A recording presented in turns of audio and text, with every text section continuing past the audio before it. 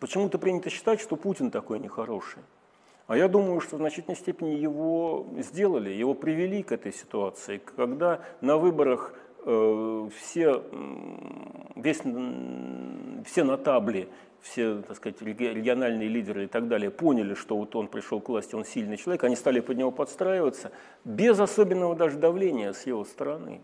Э, и тут надо быть просто человеком величайших душевных качеств для того, чтобы духовных качеств и силы, для того, чтобы не поверить в то, что ты действительно какой-то выдающийся. Потому что все говорят, что ему везет, он сильный, он нагнул Обаму, он поднял Россию с колен. И мне кажется, что Меркель права, когда она говорит, что Путин живет в какой-то своей реальности.